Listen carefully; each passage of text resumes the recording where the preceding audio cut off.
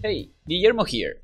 In today's video, we are going to discuss how we can approach a difficult question that say you are given in a job interview for a quantum research position in the quantum computing industry. Generally speaking, if you are applying to a research position, it's really important to have a strong background in quantum and of course in programming. But not only that, actually something that we are looking for is for profiles that combine both skills. So the best way to check that actually is ask for theoretical results via code. So the purpose of this video is going to see one of these technical questions and check how can we approach the solution. Actually, the question we are going to look at today was given in the 2022 PennyLane CodeCamp. It was one of the more difficult challenges, but at the end of the video you are going to see that is something that you can solve. Probably you already know what is the swap gate. It's an operator that acts in two qubits and basically flip the value between them. For example, if the input is 0, 1, the output is going to be 1, 0.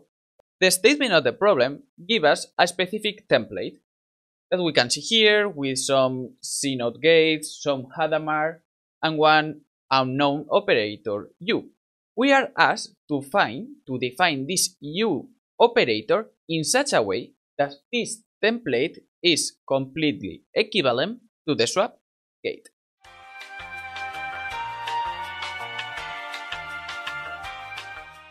When we ask this question to our candidates, we used to have two very different solutions. And it's something useful to check what is the background of that person. We can get like a machine learning style solution and a compilation style. The machine learning one is probably the most common to find and used to be to give an initial guess of how is going to be this U gate. So for example, we create an initial U variational circuit with that depend of some parameters that we are going to introduce in the template. So after that, we have to create a loss function that check how close is now all this template to the swap gate. So if we update these parameters regarding to that loss function, well, we are going to find an approximation to the U that we were looking for. However, in the other hand, this compilation style, what it's going to do is play with these properties that we have equivalence within one gates and another in order to find an exact solution. And that's the one that we are going to see today that actually is not so difficult. The first property that we have to know, and probably one of the most important, is that the swap gate has a specific decomposition. We can change the swap gate for these three CNOTs. In case you don't know the decomposition, well, in PennyLane you can always ask for the decomposition of a particular gate. For example, if we run here this code, we are going to get this output here. It means that with these three CNOTs, we can build our operator. So with all of this in mind, let's take pen and paper and solve the challenge. So we want to find a U operator such as this expression is equal to this decomposition. If we check the left side of the qualities, well, seems like we are not bad. We have a CNOT here, and we have this CNOT here. Let's not worry about that right now. However, if we check the right part of the expression, we have at the end a couple of hadamars that, well, it's convenient if we remove them in some way. So how we can remove this Hadamard? Well, the trick here is use a change of variable. So we can say, okay, let's guess that u, this operator that we are looking for, is something like operator A, and then apply to Hadamard. So now we have a new variable that is this operator A. So what happened if now we put this definition in the initial template? Well, what we are going to have is the initial CNOT, then the two Hadamards. Now we apply U that we say that is A Hadamard Hadamard,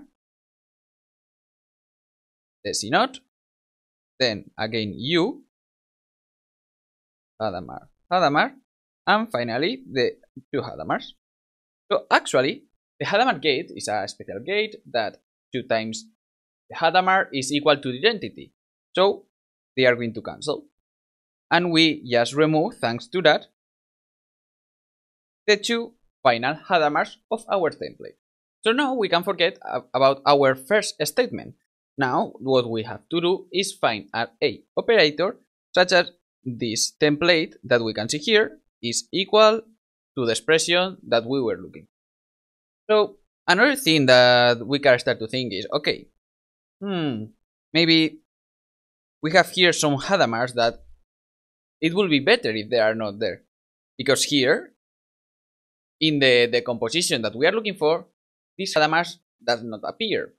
So we can do the same idea that we just apply with a new operator. So let's say that A, our operator A, is something like Hadamar, Hadamar, and then a operator B.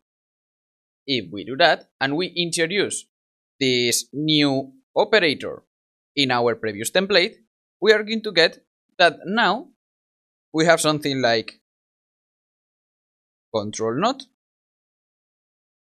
Hadamar, Hadamar, we are here. Then we apply A, it means Hadamar, Hadamar, B. Then we apply this Hadamars. After that, the CNOT, and then we apply B. Again is Hadamar, Hadamar, and the gate. So we have this expression that you can see here. That actually, with the same idea, we can remove here the Hadamars. They are going to cancel. So we have something closer and closer to our final solution. Great, so a quick summary of what we have until now. We give a new definition for our U operator. This is a operator that we don't know, A, and two Hadamars. After that, this A operator has been defined like two Hadamars and then operator B. And now we want to find this operator B in such a way that this template is equal to the swap gate. So now we can see that, well, there are still here some Hadamars that we are not interested in because we, we saw that in our expression in this equivalence to the swap gate, there was not Hadamar. And actually, we can remove this for Hadamar using a little trick. And that's the second big property that we should know. And that's it, that apply Hadamars at the beginning and at the end of a control not operator is equal to just swap the control NOT. So if we apply that in our template, we are going to get that this expression is just the same, like apply the CNOT, then the operator B. Now, flip the CNOT, so we get something like this, and finally apply the B again. So if we pay attention to this expression, we can check that we have two times the same operator. So let's call, for example, C equal to control NOT B. It means that actually C squared is equal to the swap gate. So the operator C is going to be squared of the swap gate. That this is something that we can look for it in the documentation, or actually it's not very difficult to, to deduce. But the square of the swap gate is equal to this expression that we are going to write here.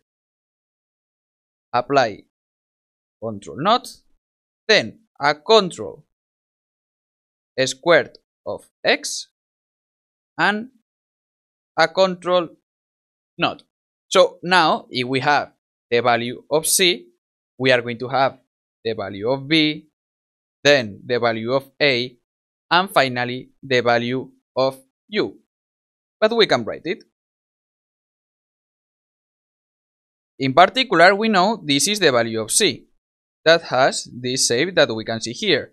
So it means that actually this expression here is the value of b because we remove this first CNOT of the expression. So we know that b is equal to this control squared of x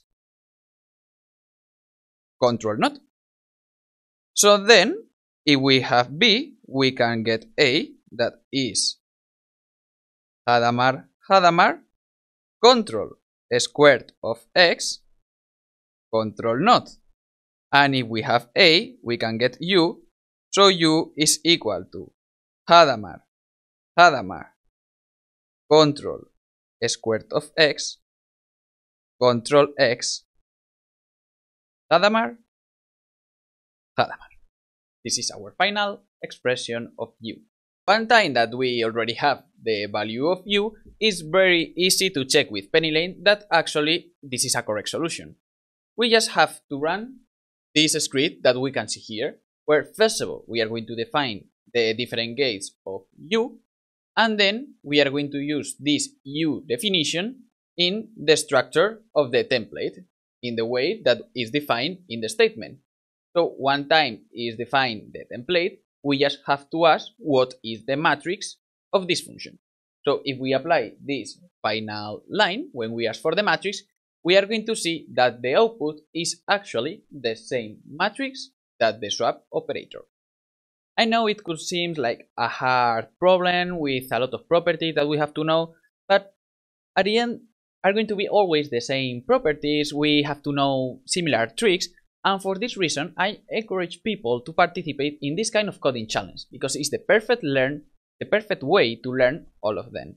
So I hope you enjoyed the video. Don't forget to subscribe to the channel if you want more content like this and see you in the next one.